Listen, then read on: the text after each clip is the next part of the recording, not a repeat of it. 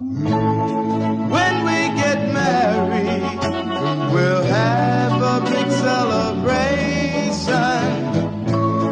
Send invitations to all our friends and relations.